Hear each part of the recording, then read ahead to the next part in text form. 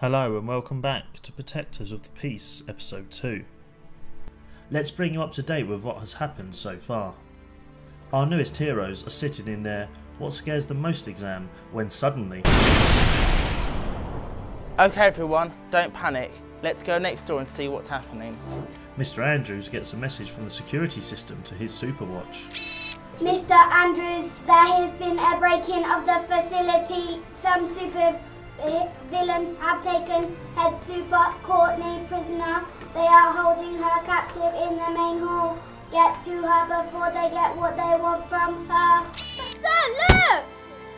Loo Roll Man, Superhero 3's worst fear, launches a surprise attack. Ha ha ha! Our plan is working perfectly. Now time for the rest of you, pesky supers.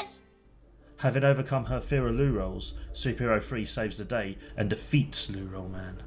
High on their success, our young heroes head off to the main hall to save Superhead Courtney from the supervillains. Right, this way.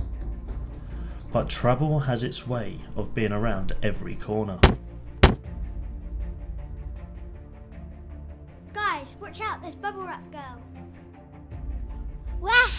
Wahaha, you are no match for me. Give it your best shot. It's okay, Superhero 2. We know you're not keen on Bubble Wrap.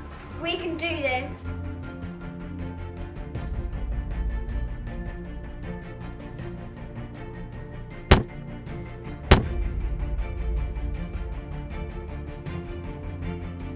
Superhero 2, I know you're scared. They're losing.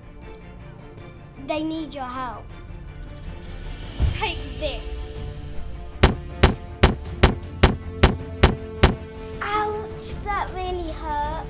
That's it.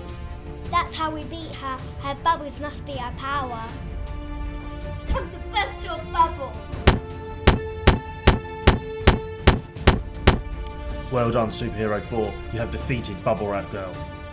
So, what lies in store next time for our young heroes? Find out in episode 3 The Return of Shadow Boy.